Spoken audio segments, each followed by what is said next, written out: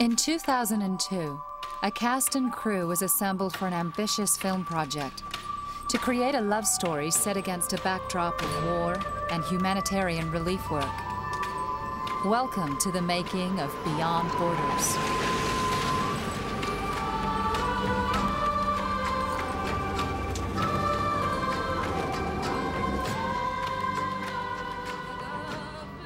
During five months of filming, we would travel thousands of miles, working in three very distinct countries.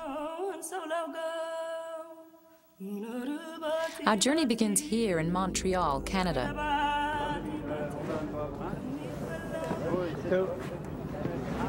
The director, Martin Campbell, and his cast and crew are here to recreate the war-torn capital of Chechnya, Grozny. İyi. And background action!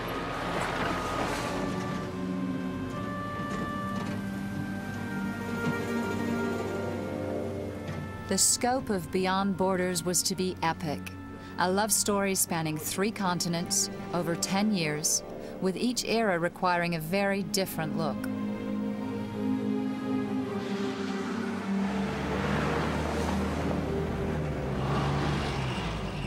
We're currently on the set of um, um, the Grozny streets, and Montreal City is just over in the background there. So it's a very uh, convenient location, right close to downtown Montreal. And in Chechnya in 1995 was the first sort of war between Russia and, and Chechnya. And part of our action takes place uh, in the streets of Grozny. So it's taken us about four or five months from scratch to turn this old sugar mill um, into the streets of Grozny. Basically, it was uh, an old industrial area that we've added certain elements to to give it shape and form.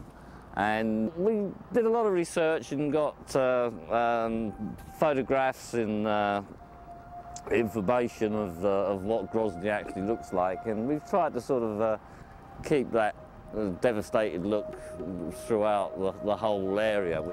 These additional buildings that we've added here, um, uh, this in particular is the cinema uh, that we got uh, actually from a photograph in Grozny and I couldn't believe some of the photographs that we saw of the amount of devastation to be honest and uh, it was quite, you know, quite a shock to see how much the place has just been flattened really.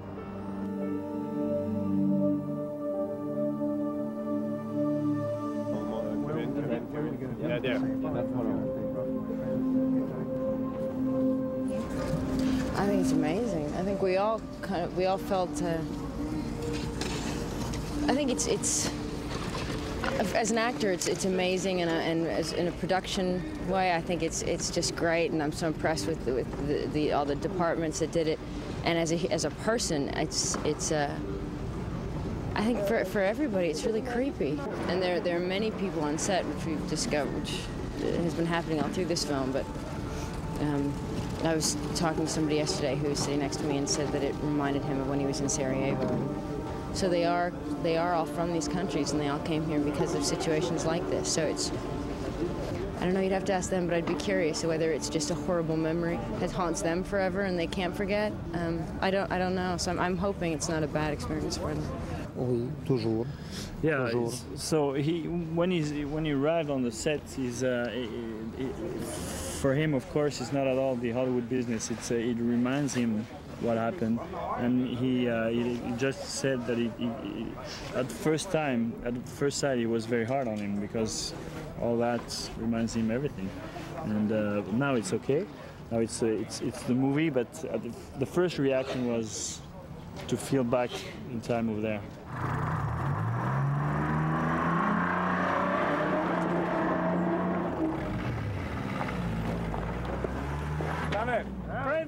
And what we're trying to do uh, here is to create the illusion of, uh, of a drabness, of a city under conflict, uh, a city burning, a city uh, in war, basically.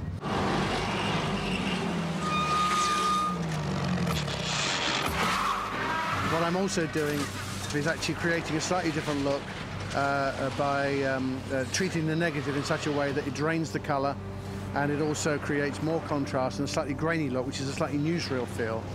And to keep that going, I've now got uh, most of the cameras are all handheld, so it's a slightly sort of unnerving sort of thing to everything that's going on. So give that more tension, and uh, the audience themselves can feel that you know that any, something could happen at any moment, which is what we're trying to say.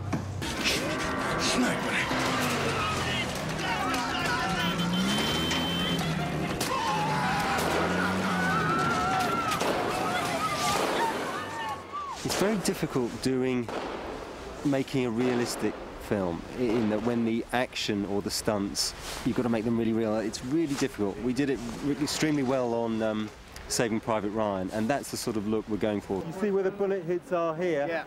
As he sort of slip sliding here, the camera be about here. Bang, bang. That's the sort of timing. The whole shot is only going to last about eight seconds. People aren't flying a million miles in the air or doing a double somersault or anything like that. It's really very, very realistic. War isn't nice, uh, and you've got to really show it in that light. And it all happens very, very quickly. Probably what we're doing here, we're spending a week here, it's going to end up like 60 seconds on screen. It's trying to find new camera techniques, really, to film the action. That's how you're going to make it look different. Put an audience there, like, like with this, we're, we're filming it doco style. So it's, it's, it's moving cameras as if you're in amongst all the explosions.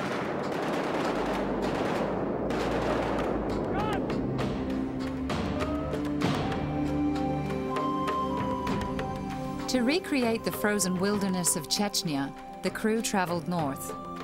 This is Quebec midwinter. It's exceptionally cold and bleak, which makes harsh working conditions for the crew, but looks completely believable on screen. Any? Oh, it's fabulous. The look is fantastic. It looks like nothing you've seen, and that's what we wanted. You could try and do it inside, but it never looks quite the same thing. So you go outside. You know, a lot of people are scared of it. We're not. We know what we're doing. It's just a pain in the ass. Just collapses. The breathing is. You're right up close here, Angie. As soon as that happens, Yeah, You come it, back. it helps so much as an actor when the conditions around you are real, and and this is really cold, and this is, you get that sense of what it's really like. Um, so it couldn't be better in a certain way. Stand by. Roll cameras. Because we've been talking to lots of different people about what it's like in these conditions, and we've been out here and we've got heat packs on and so many different things, but I can't imagine it making, you know, making a run for it in this kind of situation. It's it's beautiful, but it's trying to survive in it. I, I don't know how anybody does it.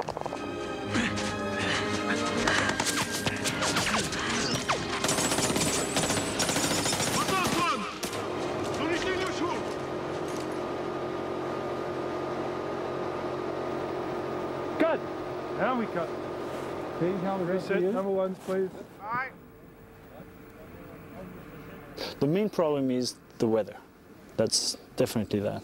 So, for example, when we arrived this morning, it was minus, uh, it was minus 20 degrees. When you add the wind, it can go minus 40 degrees, minus 30 degrees.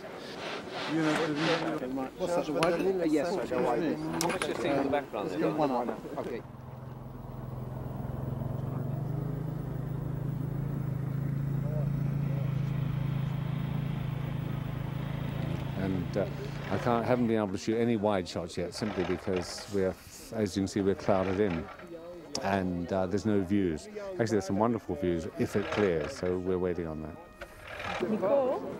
We're with all the changes of the weather. Sometimes it was sunny, sometimes it was windy, sometimes it was snowing. That's our director and our DPs are went a little bit uh, crazy about it. Well, here we are. We're fogged in. We're fogged in for the whole morning. We've uh, all shot a couple of um, close-ups of gun barrels firing. So here we are doing close-ups of snipers rifles. So uh, the whole unit standing around. We're fogged. We're snowed. We're everything else. So um, everything's normal.